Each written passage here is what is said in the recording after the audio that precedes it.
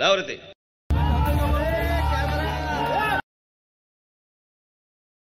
नमस्कार मी चंदन पाटील. आधार मंथनमध्ये आपले स्वागत.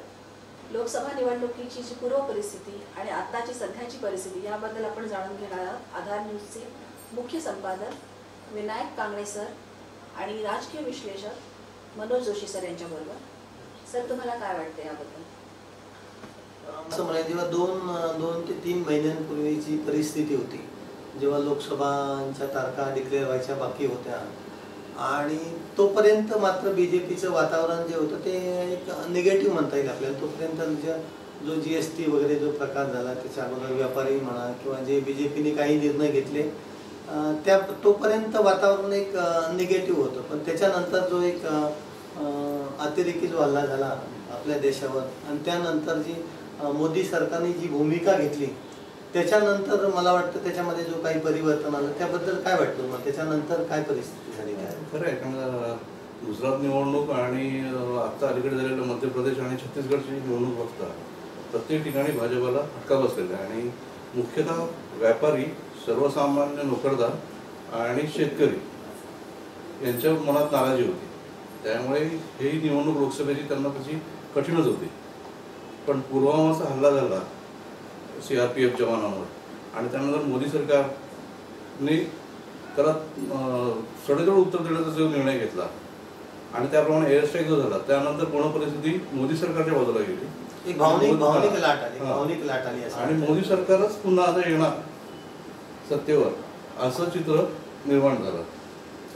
असं चित्र. निर्माण झालं असताना मग लोकसभेचे एक- एक वातावरण निर्मिती झाली लोकसभेच्या तारखा डिक्लेअर झाल्या आणि त्याच्यानंतर एक महाराष्ट्रामध्ये महाराष्ट्रात नव महाराष्ट्र नवनिर्माण मान्य राजसाहेबांनी जी भूमिका घेतली त्यांनी ज्या पद्धतीने सभा घेतल्या ज्या पद्धतीने हे तयार केलं त्यानंतर वातावरणात काय बदल झाला असं काय वाटतं? त्यांचं तर त्यांचं सर्जिकल स्ट्राईकच म्हणता येईल तो. एक वेगळ्या प्रकारे त्यांनी केलेला की उमेदवार उभा न करता ठाकरे यांनी जे वेगळ्या पद्धतीने ज्या सभा घ्यायला सुरुवात केली म्हणजे व्हिज्युअलच्या माध्यमाने व्हिडिओच्या माध्यमाने आणि कधी पण व्हिडिओ व्हिज्युअल दृकश्राव्य माध्यम हे खूप इफेक्ट इफेक्ट करते. आणि लोकांच्या मनात बसणे डोक्यात फिट बसतं. आणि त्याचा वापर त्यांनी केला आणि लोकांना पटवून देण्याचा प्रयत्न केला की मोदी सरकार कुठे कुठे चुकलेलं आहे? आणि कुठल्या कुठल्या पातळीवर ते फेल झालेलं आहे? आणि ह्याचा इम्पॅक्ट खूप होतोय. राजसाहेबांनी जी सगळ्याचा धडाका लावला बीजेपीचं वातावरण निवडणुका जवळ येईपर्यंत बऱ्यापैकी पॉझिटिव्ह. पण जेव्हापासून त्याच्या सभा सुरू झाला. आणि जी सभेला प्रचंड गर्दी असते. तर त्याचा मतांमध्ये कितपत परिणाम होईल असं तुम्हाला वाटतं होऊ शकतो कारण का आता कसं झालेलं आहे की सोशल मीडिया हा एवढा पॉवरफुल आहे की एकदा तुम्ही ट्विटरवर जर बघितलं तर हे बहुतेक मनसेकडूनच होत असावं की यांच्या क्लिप्स आहेत राज ठाकरेंच्या ह्या सब टायटलने फिरत आहेत व्हायरल होत आहेत त्यामुळे तुम्ही जर बघितलं तर त्याचे रिॲक्शन्स पण तसे आहेत. की एकाची तर रिॲक्शन अशी होती की मी राज ठाकरेंना कधी मानलं नाही आणि मानणारही नाही. पण हा जो काय बोलतोय माणूस तो एवढा पॉवरफुल आहे आणि अक्षरशः वास्तव आहे. त्यामुळे मी ह्या बाबतीत त्याला खूप मानतो की त्याने सत्य परिस्थिती मांडली. विनायक सर तुम्हाला काय म्हणायचंय की राष्ट्रवादी किंवा काँग्रेसचा हात आहे का याच्यामध्ये राजसाहेबांच्या सभांमध्ये राजकीय उद्देश जर तसं म्हणलं तर काँग्रेस आणि राष्ट्रवादीकडे असा काही एकही ठाम मुद्दा नव्हता की जो मोदींना चॅलेंज करू शकणारा होता. कारण मोदींचं वातावरण जी लहर होती ती पुन्हा इतकी प्रभावशाली होत होती की त्याच्यासमोर काँग्रेसकडे असा नेता नाही राष्ट्रवादी किंवा काँग्रेसकडे की जी मोदींना दाबू शकतील त्यांचं वक्तृत्व म्हणा त्यांचं प्रेझेंटेशन म्हणा तर त्याला ते पर्याय त्यांना नव्हता. आणि मला वाटतं शरद पवार साहेबांची हे चाललंच चालच म्हणता येईल राजकीय चाल. आणि ती त्यांनी का करू नये एक शेवटी हे राजकारणच आहे. तर त्यांनी राजसाहेबांसारखा एक पर्याय शोधला की जो महाराष्ट्रात शिवसेनेला पर्याय आणि बीजेपीला जो दाबू शकेल राजसाहेबांचं प्रेझेंटेशन वक्तृत्व म्हणता येईल. आणि त्यांना काही एक आयडिया मिळाली की जे राजसाहेबच त्यांना थांबवू शकतील ह्या वादळाला. आणि ते तिथे यशस्वी झालेले मला दिसत आहे की कुठेतरी ते यशस्वी. आणि राष्ट्रवादीकडे असं वलय असलेलं नेता नाहीये. की पण जशी बाळासाहेबांच्या याला नुसतं बाळासाहेबांचं भाषण आहे म्हटल्यानंतर जशी गर्दी जमायची तशी गर्दी तसा. काँग्रेसकडे राष्ट्रवादीकडे पहिल्यापासूनच तसा वक्ता खंदा वक्ता कुठेच नाही, नव्हता. आणि राज ठाकरेंकडे ते एक शैली असल्यामुळे आणि राज ठाकरे यांचं भाषण आहे म्हटल्यानंतर तशी गर्दी खेचली जातेच. आणि हे पण पण मी मनोज सर मी तुम्हाला एक सांगेल की आता हे विधा हे देशाचं देशाचं इलेक्शन आहे. ठीक आहे तुम्ही मोदी साहेबांना थांबवण्याबद्दल अजिबात अडचण नाही. मोदींचे विचार तुम्हाला कदाचित पटते नसतील. पण मोदी सरकारच्या काळात जेव्हा जे काँग्रेसच्या काळात जे घोटाळे हजारो. करोडोंचे घोटाळे झाले तसे मला वाटतं वैयक्तिक घोटाळे काही फार नसावेत असे काही उघड आलेले नाही किंवा असे काही ठोस मुद्दे आहेत की. मोदी सरकारला फक्त मोदी आणि शहा नको ठीक आहे तुम्हाला हिटलरशाही मान्य नाही तुम्हाला पण तुमच्याकडे असा काही चेहरा आहे की जो चेहरा तुम्ही देऊन. देशाला सांगू शकता की ठीक आहे तुम्ही राहुल गांधीला मतदान करा किंवा असा दुसरा काही चेहरा आहे करा साहेबांसमोर की तुम्ही याला याच्याकडे बघून मतदान करा की जो पुढे देशासाठी सांभाळू शकला. असं काही नेतृत्व आहे का? मग हा धोका तुम्हाला ब्लँक चेहरा देणं धोका मोदीपेक्षा मोठा वाटत नाही का तुम्हाला? काय वाटतं? बरोबर आहे ते. कारण काँग्रेस आणि याचा प्रॉब्लेम असं झालेला आहे की त्यांना आज फक्त हं? फक्त राहुल गांधी यांच्याच जोरावर सर्व प्रचार सुरू आहे. आणि राहुल गांधीच्या बाबतीत असं म्हणता येईल की ते आपला मुद्दा व्यवस्थित मांडू शकत नाहीत अजून. त्यामुळे असं प्रभावी असं कोण असं व्यक्ती नाही आहे की की देशाला असं कणखर नेतृत्व मिळेल लीडर मिळेल. असं ते मान लोक अजून मानत आहेत राहुल ठाकरे राहुल गांधींना. त्यामुळे आजच्या घडीला सुद्धा नरेंद्र मोदीच हाच पर्याय लोकांसमोर दिसतोय. मनोज मी काय म्हणेन तुम्हाला मनोज सर की आपण ठीक आहे आपल्याला वाटलं हिटलरशाही नको मोदींचे बरेच निर्णय असे असतात की ते ठाम पण ठाम निर्णय देशासाठी कधीही चांगले असतात. पण राजसाहेबांचं मत होतं एका भाषणामध्ये केलं की एखाद्या व्यक्तीमुळे तीनशे पंचवीस आपली जी सव्वाशे कोटी जी लोकसंख्या आहे त्याचं आयुष्य धोक्यात येता कामा नये एखाद्याच्या चुकीच्या निर्णयामुळे. त्या निर्णयाशी आम्ही शंभर टक्के सहमत आहोत. पण राजसाहेबांना मला असं विचारावं असं वाटतं की सर आपल्याकडे असा एक चेहरा ठाम दिलेला आपण नाही. आपण. सांगता की ही जी जोडगोळी आहे. नरेंद्र मोदी आणि शाह यांना आपण मतदान करू नका. आम्ही आपल्याशी कदाचित सहमत असू. कारण आपल्याला वाटतं की ठीक आहे त्यांच्यापासून एक वनमॅनपासून देशाला धोका होऊ शकतो. पण आपण असा चेहरा तरी समोर दिलेला नाही लोकांना की आपण यांना ठामपणे मतदान करा. त्याचं काहीतरी बॅकग्राऊंड आहे. मोदींनी कदाचित एक राज्य यशस्वीपणे चालवलं होतं. ते लोकांनी पण बघितलं. कदाचित देश पातळीवर काही निर्णय त्यांचे चुकीचे झाले असतील. पण असा आपल्याकडे एखादा चेहरा आहे की ज्याचं मागचं बॅकग्राऊंड आहे की त्यांनी ठामपणे एखादा प्रोजेक्ट त्यांनी यशस्वीपणे राज्य म्हणा किंवा देशावर काही चालवलेलं आहे.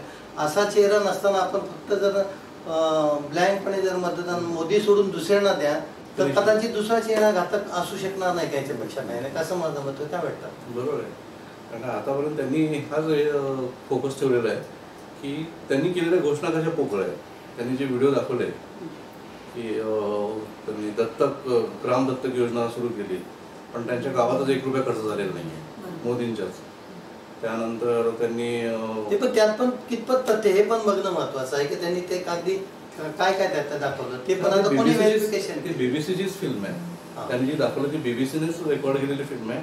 आणि बीबीसीनेच ते तथ्य समोर आणलं की यांच्याकडे एक रुपया पण खर्च झालेला नाहीये.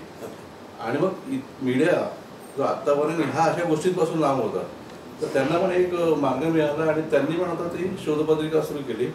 साम टीव्हीने इकडचं जे धसई गाव आहे मोरबाडचं हो. ते कॅशलेस कसं नाहीये तिथे रोखीने कसा व्यवहार होतोय हे ओपन केलं. काल राज ठाकरेंच्या सभेमध्ये याचं टी व्ही नाईनने एक दाखवलं की मोदींच्या नामांकन अर्ज भरण्याकरता कशी गर्दी होती. हो. त्याचा भांडाफोड केला की ती गर्दी नव्हती. अटलजींच्या ती होती. तर हे कसं खोटं चाललेलं आहे ह्यावर त्यांनी उघड केलेलं आहे राज ठाकरेंनी हे जरी सत्य असलं आणि लोकांचं मतपरिवर्तन करण्याचा प्रयत्न राज ठाकरे करत असले तरी तुम्ही जो मुद्दा मांडलाय की आज आपल्याकडे सक्षम पर्याय नाहीये की मोदींप्रमाणे नाही. हा मोदींप्रमाणे. मोदींचा एक प्लस पॉईंट असा आहे जो जाणवतो की त्यांनी आंतरराष्ट्रीय स्तरावर भारताची खूप मोठी प्रतिमा उभी केलेली आहे. आणि हे जाणवतं. कारण जिकडे तिकडे कोणताही विषय असला तर पाकिस्तानची गोडणी करण्यात मोदी प्रत्येक वेळेस यशस्वी ठरलेले आहेत. कोणत्याही प्रकारे. मग म्हणजे दुबईशी जरी मुद्दे आहेत हा, त्यांना जे- दुबईशी त्यांची रिलेशन वाढवणं इराण बरोबर आणखी संबंध दृढ करणं हे जे सर्व आहे त्यामुळे पाकिस्तान राजकीय आंतरराष्ट्रीय स्तरावर हा एकटा पडलाय. म्हणजे तुम्हाला. म्हणजे काही जरी त्यांनी. काही देशामध्ये. शेवटी हे राजकारण आहे तिथे काही. करताना काही गोष्टी प्रेझेंटेशन त्यांच्या चुकल्या असतात किंवा दाखवण्यात आहे पण याचा अर्थ शंभर टक्के सरकार. खोटं आहे असं होऊ शकतो का. नाही सरकार खोटं असं होऊ शकत नाही जर ह्यांनी तसा ऑप्शन दिला जसं नरसिंहराव आणि मनमोहन सिंग सारखे अतिशय विद्वान नेते किंवा व्यक्ती काँग्रेसकडे असतानाही त्यांना पूर्णपणे मोकळीक मिळाली नाही अशी जर व्यक्ती जर त्यांच्याकडे त्यांना जर मोकळीक दिली आणि तसा चेहरा जर समोर आणला तर मोदींना तो एक पर्याय ठरू शकतो कारण आज हे अमान्य तोच करता आहे येणार तुमच्याकडे एखादा. पर्याय ठाम नसताना हे अमान्य करता येणार. मोदींचं मतदान करू नका. पण याच्यामुळे देश जास्त संकटात येईल असं तुम्हाला वाटत नाही का की जर दहा पक्षांची दहा लोक आली असा चेहरा दाखवणं गरजेचं आहे? की हा माणूस मोदींना पर्याय ठरू शकतो आणि असा माणूस आजच्या घडीला मनमोहन सिंग आहे आणि त्यांना तसे एक मोकळं स्वातंत्र्य मिळालं पाहिजे त्यांना हे पण तुम्ही प्रेझेंट करताना मग जर राज साहेबांनी फक्त काँग्रेसलाच मतदान करा की मनमोहन सिंग पीएम म्हणून जर चेहरा समोर. दिला तर ते एक वेळेला चालू शकतं पण पण तसं न करता तुम्ही मतदान कोणालाही ते कितपत योग्य असणार? असं तो मुद्दा आहे की काँग्रेसने अजून चेहरा दिलेला नाही आहे आणि काँग्रेसकडनं असं गृहीत धरलेलं आहे की राहुल गांधीच भावी पंतप्रधान म्हणून एक बघितलं जाते त्यामुळे लोक पण त्याच्यापर्यंत की कुठपर्यंत जातील? की ते मोदींना पर्याय ठरू शकत नाही कोणत्याच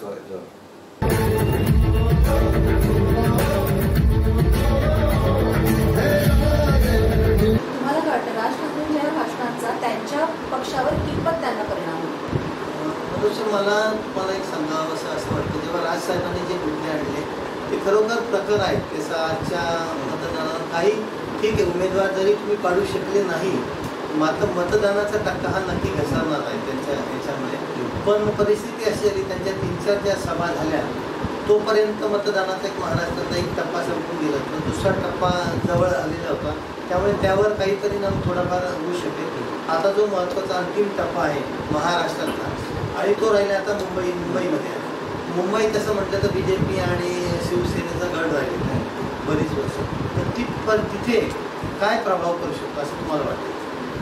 तसं हा जो प्रजासभाचा जो परिणाम जो आहे हा प्रामुख्याने नवमतदार आहे यांच्यावर आहे. जे जुने दांडे आहेत हे आपल्या विचारांवर ठाम आहेत आणि तसे ओळखून आहेत की कोणाला मतदान करायचं काय करायचं. पण हा नवमतदार जो आहे तो राज ठाकरेंकडे मोठ्या प्रमाणावर वळू शकतो. आणि त्याचा परिणाम आपल्याला वेगवेगळ्या ठिकाणी प्रामुख्याने दिसू शकतो. कारण आज राज ठाकरे यांचे पण फॉलोअर जे असे आहे. ते सोशल मीडियावर आहे. आणि हे सर्व नवीन आहे. नवमतदार याच ह्याच्यातले आहे. तरुण आहे. असं जरी काही धोरणं चुकली असतात आणि आता जे प्रेझेंटेशनमध्ये सभांमध्ये वगैरे होतं तुम्हाला काय वाटतं इतर आता भारतामध्ये इतर राज्यांमध्ये आपण जे राजसाहेबांनी जे सभा घेतल्या त्या मतदानाचा इतर इतर बाहेर ठिकाणी काय मेसेज जाऊ शकतो का निगेटिव्ह म्हणजे तेवढं नाही. अगदी फारच अगदी कमी प्रमाणात आहे. किंवा जेवढं ते व्हायरल याच्यात जेवढं पोहोचेल लोकांपर्यंत तेवढाच इफेक्ट राहील. त्यातले किती जण बघतील ओपन करून आणि डिलीट करतील किंवा फॉरवर्ड करतील यावर सर्व अवलंबून आहे. पण तेवढा इफेक्ट राहणार नाही. कारण हे सर्व सोशल मीडियाने व्हायरलने जेवढं पोहोचत आहे तेवढंच ते बघितलं जाईल राजकीय विश्लेषक म्हणून आपल्याकडे लोक बघतात. तर आपण म्हणजे काय एक सल्ला देऊ शकतो ना? मतदारांना काय सल्ला देऊ शकतो? काय वाटतं? मतदारांना सल्ला देताना हेच आहे की सत्य किती कडू कटू असलं तरी सुद्धा आपल्या देशाकरता काय चांगलं आहे कोण योग्य आहे याचा विचार करूनच मतदान निघलं पाहिजे. फक्त जे दाखवलं जात आहे किंवा जे आपल्यासमोर दिसतंय एवढ्यावरच मतदान न करता की आपल्या देशाला वरती नेऊ शकणारा किंवा आपल्या हिताचे निर्णय घेऊ शकणारे कोणता पक्ष आहे? हे बघूनच मतदान करणं गरजेचं आहे. पण आता जे एकंदरीत जे वातावरण चाललेलं आहे आपण बघतो की ठीक आहे मोदी सरकारने सुरुवात केली त्यानंतर त्यांनी त्यांनी काय चुका केल्या पण आज बीजेपी सरकारने सुद्धा कदाचित त्यांच्यात ते गुरफटले गेलेले दिसत आहे कुठेतरी वादात.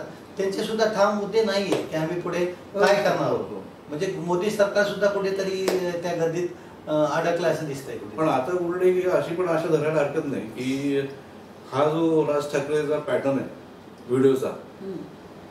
ह्याच्यातून वाचण्या करता ह्या पुढच्या पाच वर्षात मोदी सरकारला काहीतरी रिझल्ट द्यावा लागणार.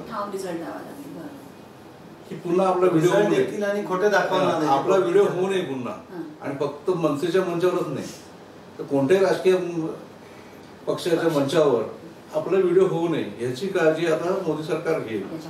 आणि त्याप्रमाणे रिझल्ट देईल अशी अपेक्षा आहे कारण हे एक अनपेक्षित होतं की आपला पंचनामा असा होऊ शकतो अशा प्रकारे होऊ शकतो. त्याची काळजी आता मोदी सरकार घेईल कारण का पुढच्या सर्व इलेक्शनला हाच पॅटर्न वेगवेगळ्या ठिकाणी बघायला मिळू. शकतो आता तो ट्रेंड झाला तो. बघायला मिळू शकतो. सावधनं सुद्धा. हा, याच्याकरता मोदी सरकार ह्याची काळजी घेऊ शकेल म्हणजे हा एक अंतिम टप्पा आहे मला असं वाटतं मनोज की आपण ज्या निवडणुकीला सामोरं जात आहोत भारत आज अशा लेवलला येऊन ठेपलेला आहे. ठीक आहे त्याच्या कदाचित या सरकारने काही फायदे झाले असतील काही नुकसान झाले असेल पण जगात एक भारताची एक अशी प्रतिमा तयार झालेली आहे की आता भारताच्या निवडणुकांनंतर कोणतं सरकार येईल आणि नंतर काय होईल याची काळजी जगाला लागलेली आहे. कारण जी मोदी सरकारने जी जगामध्ये जी हलचल नाचवलेली कदाचित आपल्या घरातलं भांडण म्हणलं की काही चुका असतात काही काम करताना असं होऊ शकतं. आपण कुठल्याही सरकारचा फेवर करण्याचं अजिबात कारण नाही. चूक आहे त्यांना भारताने काही फायदे झाल्याची काही नुकसान झाल्याचे पण जगात एक भारताची एक अशी प्रतिमा तयार झालेली आहे की आता भारताच्या निवडणुकांनंतर कोणतं सरकार येईल आणि नंतर काय होईल याची काळजी जगाला लागलेली आहे. कारण मोदी सरकारने जी जगामध्ये जी हलचल माचवलेली आहे कदाचित आपल्या घरातलं भांडण म्हटलं की काही चुका असतात काही काम करताना असं होऊ शकतं आपण कुठल्याही सरकारचा फेवर करण्याचं अजिबात कारण नाही. चूक आहे त्यांना राजसाहेबांनी जे कार्य केले जे राजसाहेब म्हणजे पूर्वी जेव्हा मला वाटलं त्यांच्या पहिल्या भेटीमध्ये सुंदर आहे त्यांनी कौतुक केलं. ते कौतुक अभिमानास्पद होतं. आजही त्यांनी जे कार्य केले त्यांना वाटतं ते चुकीचं त्यांचं बोलणं अत्यंत सुंदर कार्य आहे. पण जेव्हा आपण आपलं एक मत म्हणून म्हणजे माझं एक संपादकीय मत म्हणून जेव्हा आपण एकवीसव्या शतकात जगाला सामोरं जाणार आहोत एकवीसवं शतक. हे जग भारताकडे मोठ्या आशेने बघत आहे की आता इथल्या निवडणुकांनंतर होणार काय?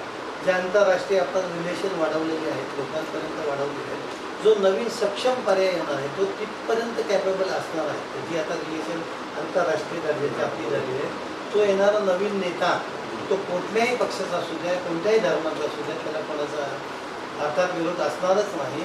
पण तो तितका सक्षम आहे का? की जे आपण ज्या लेवलला आपण जाऊन थांबलेलो त्याचा एक टप्पा तो आणखी पुढे नेणार आहात का? तर मतदारांना हा विचार करायचा आहे की जो आता जी परिस्थिती राजकारणामध्ये आहे कोणावर आरोप प्रत्यारोप लावले जातात ते महिनाभरानंतर विसरून पुन्हा ते एकत्र मित्र होणार. पण आपण ज्याला मतदान करणार आहोत ती स्पर्धा आपली जगाशी होणार आहे. त्यामुळे तुम्ही निवडणारा नेता हा आंतरराष्ट्रीय नेता असणार आहे. आपलं मताला प्रचंड महत्त्व आहे. कोण आपल्याला सांगतं त्यापेक्षा आपल्याला काय वाटतं? आज मतदान जागृत झालेलं आहे. सगळ्यांना कळतं. आज ते इंटरनॅशनल लेवलला गेलेले आहेत. सगळी परदेशात देशात जातात. त्यांना परिस्थिती माहिती आहे. आपल्या भारत देशाला इतर देशांच्या कंपेअरमध्ये आपल्याला बसवायचं आहे. आणि ती दूरदृष्टी ठेवून आपण मतदान केलं पाहिजे असा एक आधार मंत्रमधून मला एक संदेश द्यायचा आता जी आपण चर्चा केली ती प्रेक्षकांना नक्कीच आवडली असेल. पुन्हा भेटूया अशाच एका नवीन विषयासह आधार मंथनमध्ये. आधार न्यूज पाहत राहा. नमस्कार.